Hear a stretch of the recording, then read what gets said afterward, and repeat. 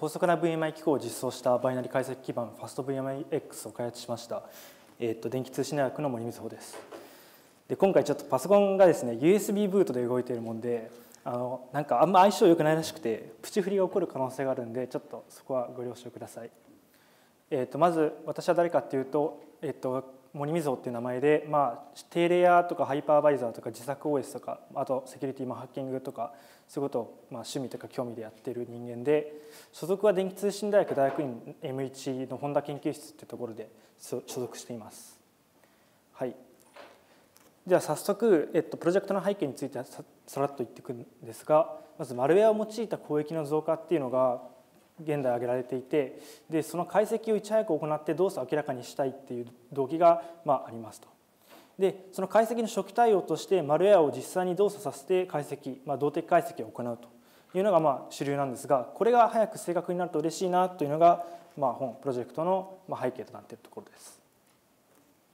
で動的解析の課題ではまあ大きく3つあって一つは解析環境と検知される恐れっていうのがあるとこれは安泰デバッグ技術なんかによって、まあ、マルウェアが解析環境と検知するっていうことが可能になっています。で課題の2つ目としては解析環境がマルウェアに汚染されてしまうという問題。まあ、あの実際に動作させちゃうんでマルウェアに感染されちゃうよねっていう問題があります。で課題3つ目として解析環境の管理保全を誰がどこで行うかっていう、まあ、こう愚直にやるとスケールしないような問題があるんですがまあ、こういった中でですね最近では解析環境を仮想化して、まあ、課題を解決しようという流れが、まあ、主流になってきています。では実際に仮想マシンを導入すると課題解決するのかっていうのを見ていきます。でまず課題1つ目解析環境と検知される恐れっていうのはこれは解決ほぼしていてそれはなぜかっていうと仮想マシン内に手を加えないで解析するっていう、まあ、ステルス性をすごい主に置いた解析法が主流になってきていて、まあ、解決されてるっぽい。で課題2つ目解析環境が丸ルに感染して汚染されてしまう問題っていうのはまあこれ仮想マシンなんで別にもうパッと破棄しちゃえば終わりということです。で最後の課題3としては解析環境の管理や保全誰がどこで行うかっていう問題があって、まあ、これはハイパーバイザー、まあ、仮想マシンモニター、まあ、ハイパー仮想マシンを管理するソフトウェアが、まあ、管理や保全を行うので大丈夫であるということでなんか仮想化銀の弾丸なのかみたいな感じに思うんですが、まあ、ところがそういった中でもまだまだ問題がありましてまず問題の1つ目としては仮想マシンの内部情報の解析、まあ、バーチャルマシンイントロスペクションって、まあ、専門的に言うんですけど VMI におけるそのコンテキストスイッチっていうのがオーバーヘッドになってしまうと。でコンテキストスイッチって何かっていうと、まあ、大きく2つあって仮想化のために必要なコンテキストスイッチ、まあ、これは IO だったりこれは図の左側のところですね。IO のディスクのところとか。あとは VM をトレーシングするとき、まあ、あのゲストの中で何が起こってるのかっていうのをトレーシングするときに、まあ、コンテキストスイッチが発生してしまうと。大きく2つコンテキストスイッチが発生する問題があります。また高度な動的解析妨害手法っていうのに対応しきれていないと、まあ、マルウェアっていうのは結構小賢しいのでいろんなあのいろんな、まあ、解析されないような手法っていうのをいろいろこう実装してこう、まあ、実践に放り込んできていて。まあ、それになかなかこうあまりアプローチしきれていないという、まあ、中で、まあ、問題は盛りだくさんであるという感じ話になっています。でコンテキストスイッチコンテキストスイッチさっきから何回も言ってるコンテキストスイッチおじさんなんですけどじゃコンテキストスイッチって何なのかっていうと、まあ、今回は今回はですねこのコンテキストスイッチ2つあるって、まあ、仮想化のために必要なコンテキストスイッチと VM のトレーシングに必要なコンテキストスイッチってまあ2つ言ってたんですけど今回は VM のトレーシングの時のコンテキストスイッチを着目して説明したいと思います。まずトレーシングによって発生するコンテキストスイッチっていうのはトレースしたいものをトラップ、まあ、VM エグジットっていうのを起こしてでトラップして現在のレジスターの情報、まあ、ゲストのレジスターの情報をコンテキスト情報として保存してで権限レベルをリング3リング0からリングマイナス1っていう、まあ、ハイパーバイザーの権限にえー、権限を変更してでハイパーバイザーのコンテキスト情報を持ってきてでハイパーバイザーの実行をしてでまたあの解析を行った後に、えーとゲスえーと、ゲストのコンテキスト情報をこうもう一回持ってきてでハイパーバイザーからえーと、ゲストに権限を移してみたいなことをやるわけですよ。まあ、これめちゃくちゃダーって言っちゃうんですけど、まあ、要するにトラップのたびにですね数百サイクルも消費するようなコンテキストスイッチが発生するのは非効率的であるというのが、まあ、聞いてもすぐ分かると思います。なのでこのコンテキストスイッチがこのログのところがパッとなくなるといいなという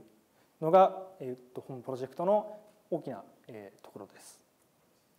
さて先行研究のちょっと紹介をしたいと思います。でカッコサンドボックスっていう先行研究がありましてこれはクラウド型のバイナリー解析プラットフォームの、まあ、バイラストータルっていう有名な、えー、サービスがあるんですけどそこでも実あの採用実績がある、まあ、バイナリーの動的解析ソフトウェアで、まあ、ネットワークとか API のトレーシングができるんですけど、まあ、システムコードのトレースはできないと、まあ、解析の流度がちょっと大きいという問題があります。でもめちゃくちゃいいソフトウェアです。で次ドラッグワフっていうものもあってこれ全をベースとした、まあ、ソフトウェアなんですけど、まあ、これかなりすごい技術技術を使っててストレスブレイクポイントっていうのを打って、まあ、こう API というかシステムコールとかをいろんなものをトレトレースして、まあ、すごい流度をちっちゃくトレースすることが可能なんですけども依然としてその先ほども挙げました通りトラップにおけるハイパーバイザーと仮想マシン間のコンテクストスイッチっていうのが、まあ、オーバーヘッドになってしまうという問題が依然としてあります。さてそうした中で私はこの見た期間中に提案システム FastVMX、まあ、FastVMI on Intel VTX っていうまあ適当な名前なんですけどを開発いたしました。で FastVMX には大きく 2, つ3つの機能がありましてまず高速な VMI 機構、まあ、VMI におけるコンテキストスイッチを極力抑える解析機構を実装したまた高度な動的解析機能体制機能への対抗手段をまあ実装してであとはまあいい感じにアウトプットをするようなものを実装しました。では早速高速な VMI 機構に関して見ていきます。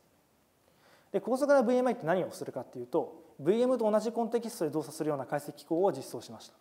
まあえーとまあ、ゲス内にカーネルモジュールを挿入してそいつが高速に解析を行うと。で、まあ、そうすると、まあ、皆さんあのお気づきの通りいろんなセキュリティ的な問題が発生するのでそこを仮想化機構を最大限利用してセキュリティを担保します。でそうするとコンテキストスイッチが極限まで抑えられて高速化を達成することが可能になっています。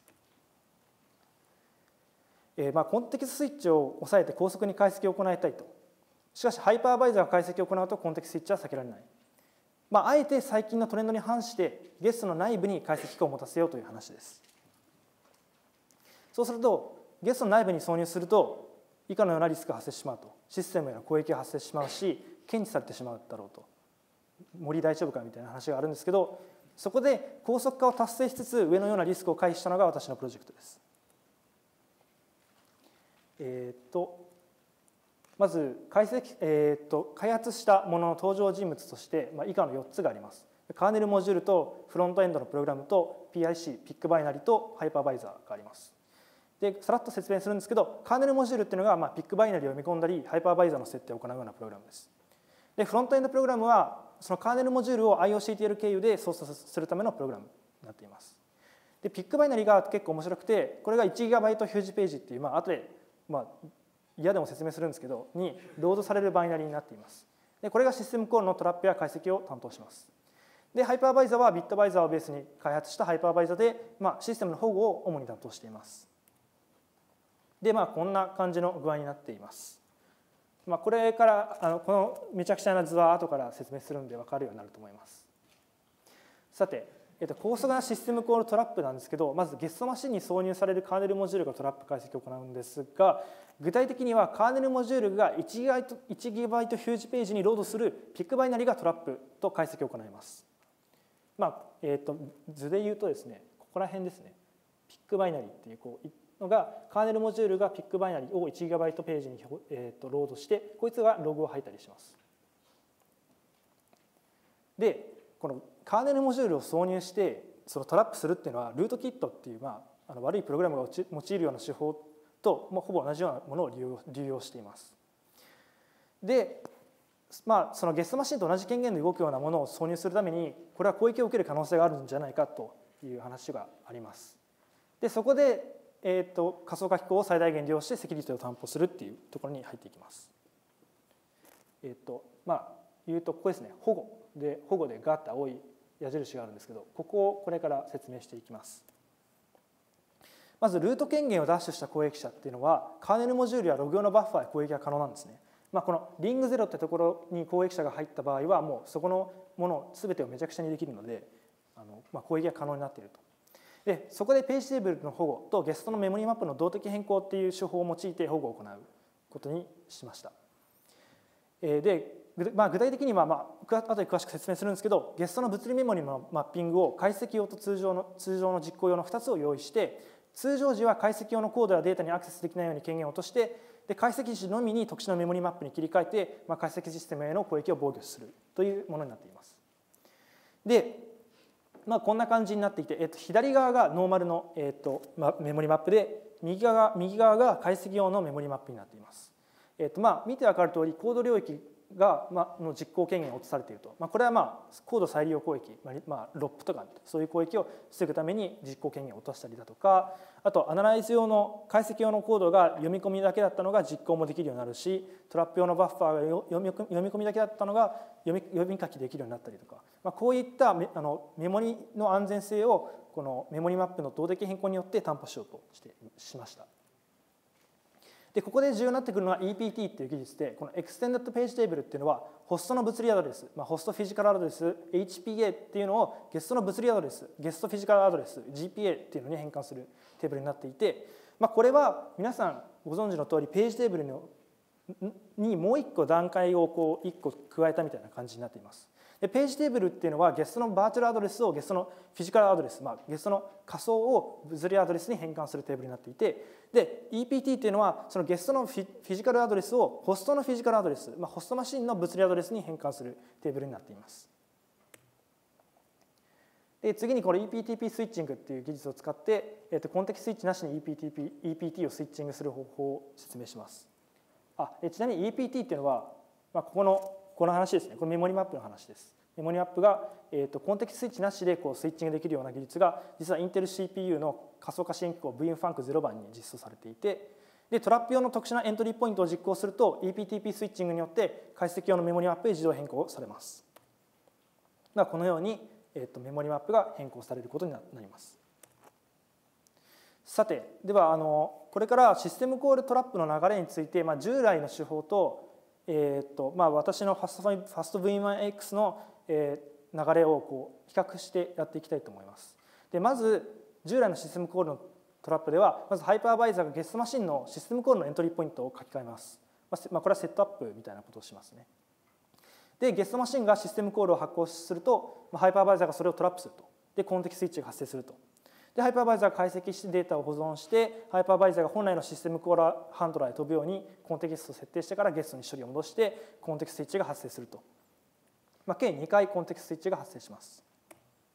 一方ファスト VMAX の方はまず、えっと、ゲストのまあシステムコールのエントリーポイントを書き換えるのはまあ先ほどと同じです。でゲストマシンがシステムコールを発行してからがまたちょっと違うんですが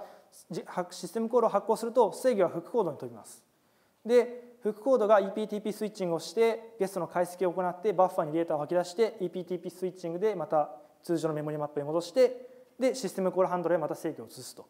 でこの中で、まあ、一度もコンテキスイッチが発生しないっていうのが、えー、とファースト VMX の強みになっています。はいえっと、でこれが、まあ、あの 1GB ヒュージページとかそこら辺の、えー、と領域をここら辺をですね保護する話だったんですが次はこのページテーブルの保護について説明していきます。えっと、公益者っていうのはゲスト内部のページテーブルを操作することが可能になっています。それは仮想メモリのマッピングを変更することができるので、まあ、本システムが機能しなくなる恐れがあります。例えばこれですね。これってあのカーネル空間にあの、えっと、マッピングされているんですけどこのマッピングがもしなんかデタラメなマッピングにされちゃったら、まあ、 Fast VMX は機能できなくなってしまいます。そこでですねページテーブルの切り替えっていうのをトラップしてページテーブルがページテーブルが切り替わるたんびにそのページテーブルエントリーが変わってないかを監視する必要があってで該当するページテーブルエントリーを書き換え不可に設定して今回は保護を行いました。でここからはちょっとオタク的トークになって、まあ、田中さんからも削れって言われたんですけど、まあ、言います。えっとヒュージページ 1GB ヒュージページを用いることによって今回は保護するエントリー数を削減することに成功しました。でこれがファスト BMX の一番の肝というか一番早くしたポイントのところです。で表示ページって、まあ、通常の 4KB ページ以外に2メガ1ギガってまああるじゃないですか。で 4KB2MB を保護する場合ってまあそのまあページングってレベルまあ1234とかあるわけですけどその下の方から保護する場合って下から上まで全部保護しなきゃいけないわけですね。つまり検証しなきゃいけないエントリー数が増大してしまうと。しかし 1GB 表示ページを用いることによって検証しなければいけない、えっと、エントリー数を大きく削減することができるんですね。でそのために 1GB ページに、まあ、ピックバイナリーを流し込むバイナリーローダーを、まあ、カーネルモジュールに実装して、まあ、実装しま実装して、まあ、今動いている感じになっています。で次に高度な動的解析体制機能への対抗について話していくんですが、まあ、今回はタイミング解析に注目しました。でこれタイミング解析っていうのは何が何かっていうと実環境と解析環境での実行時間の際からこれを検出する、えーとまあ、これが VM であると検知するっていう手法なんですけどこれをマルウェアを行ってくるんですけど、まあ、CPU 時間の改ざんって結構難しくって、まあ、OS によってこう時間計測の方が異なったりとか、まあ、正常にこう動作させながらいい感じにえー、騙す方法っていうのは難しいんですけど、まあ、これを騙す手法を今回提案いたしました。でゲストの時間を改ざんすることによって解析した時にかかった時間をこう戻すと、まあ、解析にかかる時間を感じさせないようにゲストにするっていうのが今回の手法になっていて、まあ、RDTSC、まあ、リードタイムスタンプカウンター命令っていうのがあって、まあ、タイムスタンプのを読み込む命令なんですけどこれをトラップして解析時間分の時間をこう元に戻してゲストから見るとあの解析されてるのに時間が全く経過してないように見えるというような偽装をしました。で今回まあ、あのデモでは見せられないんですけど POC プログラムを動作させた結果、まあ、ゲストの時間が有効に騙していることが確認できました。え次に性能評価に入っていきます。今回 LM ベンチを用いて、まあ、システムコールレイテンシーを、まあ、測っていきました。で、ファスト VMIX とデフォルトのシステムと、まあ、ドラッグワフ、まあ、先行研究について評価を行いました。で、LM ベンチを走らせたんですけど、えっと、ドラッグワーフに関してはちょっと時間がかかりすぎて測定不能と今回はしました。あのデフォルトでも1時間以上かかったんですけどドラッグワーフってめちゃくちゃかかって、まあ、測定できなかったんですけど、まあ、とにかくファスト VMX は測定できました。で、まあ、数値は、まあ、まあまあ見れば分かるんですけど、えーと、ファスト VMX はデフォルトに比べて 2, か2から3倍へのの速度低下で済むことが分かりました。次にあまりにもドラッグワーフにはそれはちょっとかわいそうだなということで独自ベンチマークを走らせることにしました。で独自のベンチマークプログラムっていうのは GetPID システムコールっていう、まあ、PID を取得するシステムコール。絶対成功するシステムコールがあるんですけどこれをまあたくさんの回数、まあ、呼び出すプログラムを書いて、まあ、それによってシステムの性能評価を行いました。で評価対象はまあ先ほどと同じものです。で今回は、えっと、100, 100万回で1000万回、えっと、GetPID システムコールを走らせてこれにかかった時間を計測いたしました。でデフォルトだとまあ大体0.05秒から0.49秒くらい。でファスト VMX だと0.263からまあ2.613秒くらい。でドラッグバフだと80.485秒から801秒、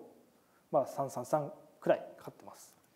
でファスト VMX はデフォルトに比べて、まあまあ、およそ5.3倍の実行時間増加にとどまったんですが、えっとえっとまあ、ここで驚きなんですけどファスト VMX は DRAKVUF に比べて306倍高速化ができたことが分かりました、